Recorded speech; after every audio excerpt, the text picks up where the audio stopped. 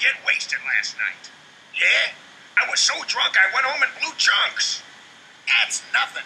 I had one guy in here, went home, crashed his car, got into a fight with his wife, knocked over a candle, burned his damn house down.